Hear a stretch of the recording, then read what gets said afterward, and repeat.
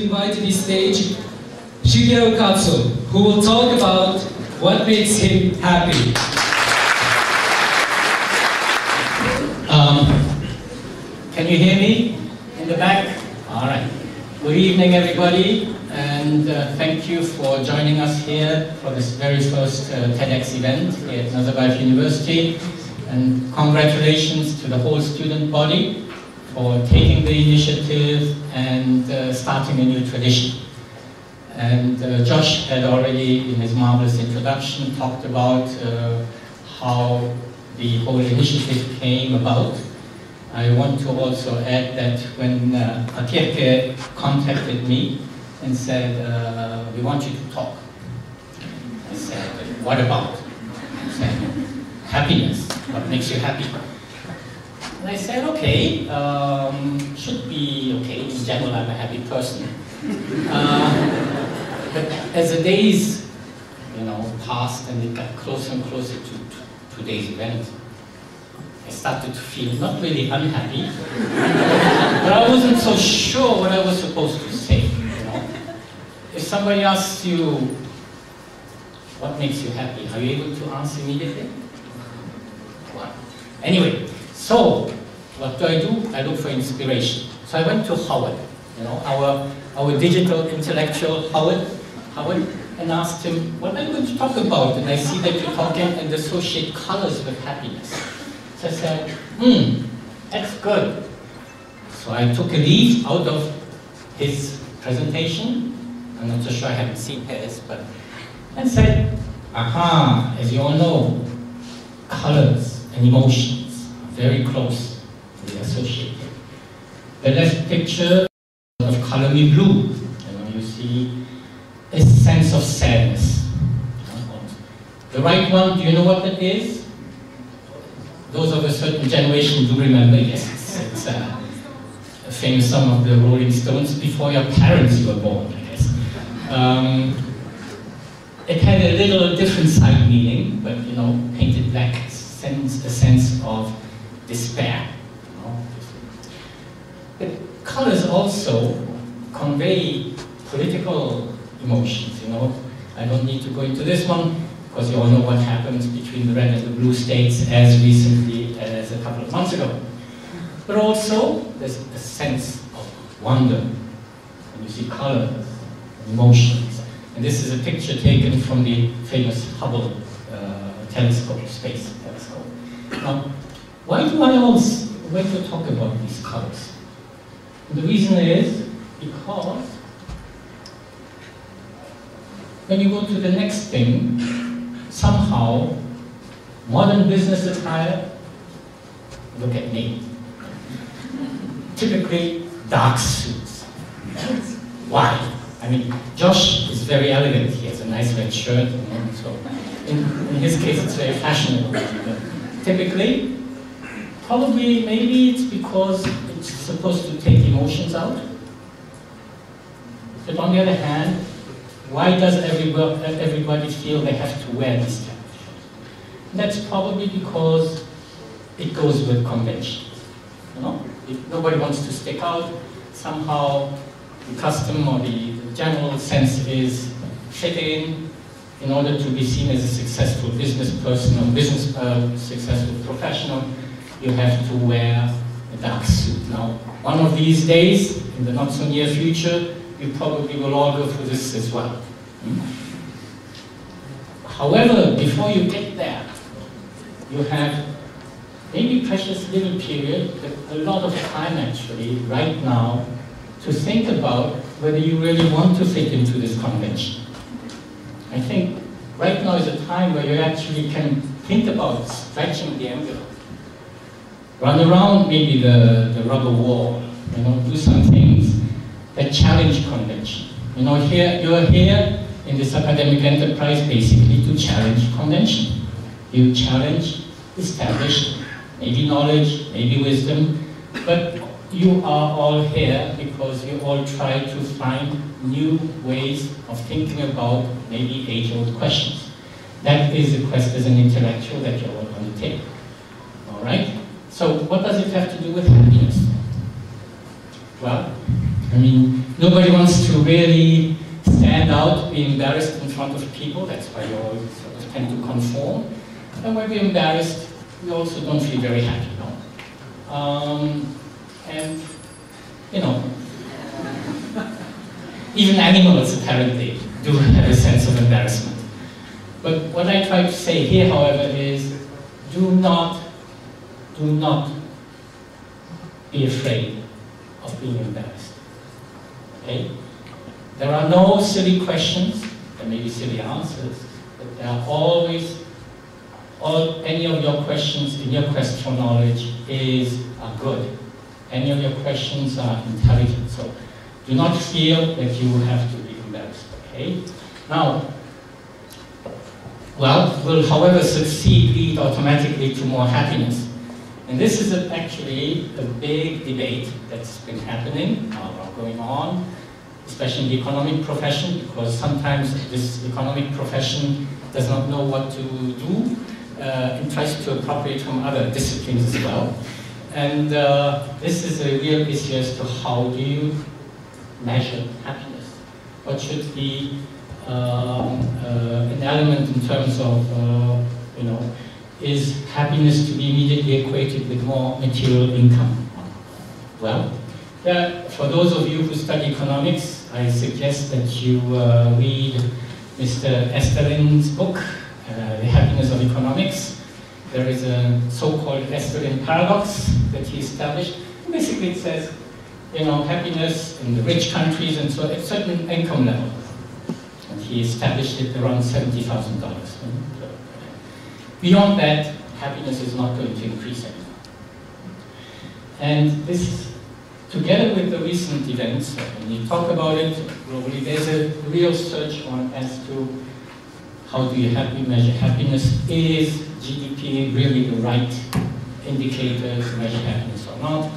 And there are countries such as Bhutan where they already really have really developed uh, gross national happiness indicators. Just simply to show that there are many, many different ways of trying to approaches of measuring happiness and what we're supposed to be. Which brings me to this question as to what is happiness? And you can tell that I'm trying to beat around the bush because I'm not coming to my question, but uh, in general, talk about what happiness. And you see all these things. And as I cannot remember all the things that they said, I just have to, from time to time, look at my own uh, writings. And, you know, um, I did try to do a little bit of homework and talk about what is happiness and try to find citations. And grosso modo, you can say that there are about nine or so big categories. Those um, who think that happiness is sharing, somewhere there too. Others who think that happiness is cash flow. I had a Chinese friend, a friend of my colleague, who had this on his wall. Um, then there are people who are born pessimists and say happiness is a delusion, doesn't exist. Or others who are more, a little bit more philosophical and say happiness is when you pursue happiness. It's not attainment of happiness. It's the journey that counts. Or others will say, well, in a way, yes, it's good to share, but you don't want to share it really with people who are less fortunate than you, because those people will not enjoy it. Um, and then it gets really more uh, philosophical. Uh, happiness has to be sought within yourself. You have to create it. Um, and, you know, Aristotle and others, we go back to Josh almost, you know, talked about how important it is to find happiness within yourself and you have to work on it and create. Um, but also, more recently, Mahatma Gandhi said, well, happiness is when what you think, what you say, what you do are aligned. So there's a moral dimension to happiness. In other words, are you able to look yourself in the, in the mirror every morning that you get up? Are your thoughts, what you say, what you do aligned? And of course, happiness, uh, they say, resides in small daily occurrences. Smell the roses. And of course, at the end, somebody who summed it up and said, happiness exists because unhappiness exists. Without unhappiness, you wouldn't be and so on. So there are many other ways. You know, you go in Google and find out in, in the internet there are, or in, in, in Scott Obermeyer's uh, place, you will soon be able to find out through avatars where you find happiness and how to find it as well. Um, but the important thing is, and this is where I start to go into my own thing, okay? What do you do? What does it all mean for me? I was thinking and said, well, uh, what can I share with you that may be relevant? So I said, well, obviously at the very big picture level, I should say also from my former background, I'm extremely happy to see that the world seems to be able to, even if stutteringly, to uh, get out of the big, big economic and financial crisis that we've seen in 2008.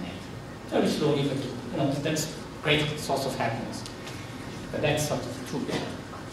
But maybe important, still important, big picture happiness.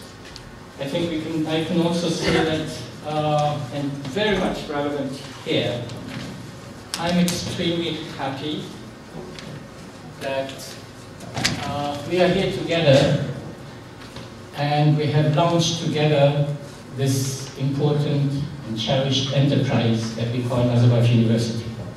Okay? And uh, I'm really thankful that uh, you all, students in particular, have taken the big jump and decided to come here and be the pioneers and hopefully you will carry on and become tomorrow's leaders thought leaders, tomorrow's digital or not intellectual, and all these good things that Kazakhstan needs. I'm also happy and thankful to the faculty and all our staff who also take a deep, deep breath and decided to come here to take part in creating something exciting and new. And overall, you know, it's only very few times, that you will find out in your life when, it, when it's your turn in life you only have very few times when you really can say, I was there beginning to build something great. So you're a part of it, and that makes me really happy. Uh, having said that, um, it's also the small things that count. So don't forget, do smell the roses in your rush to get your degrees and go out and become big shots. Do not forget, it's a small thing that counts and that makes us all happy. You know, yesterday, there was a nice day. I mean, people ask me, have you gotten used to the cold here in Astana? And I say yes. And one of the reasons here is when the sunlight, when, the, when there's bright sunlight, you see all these sparkling diamond dusts. And it's a wonderful, wonderful thing. No, nowhere else hardly can you find this. So these are the things that I think you all should not take for granted. And hopefully you will uh, cherish them. Now, so therefore, let me conclude with maybe four, four thoughts. All right? One is, this is um, a picture that comes from a citation, or accompanies a citation, a sentence from Maxim Gorky. He said, Happiness always looks small when you hold it in your hand. But let go, and you learn how big and precious it is. Right? The second thought I want to leave with you is, and this comes from Stendhal. He was a French uh, writer. In literature, you probably will uh, hear about him or learn about him. He said, um, happiness, to try to describe it, means to diminish it. I've already diminished it. And the third thought, this comes from an anonymous source. Says, every minute that you are angry, you lose 60 seconds of happiness. Alright? So these are things that are on my mind and the message to you what it all means for me to put it together for you all is very, very important. It's your life.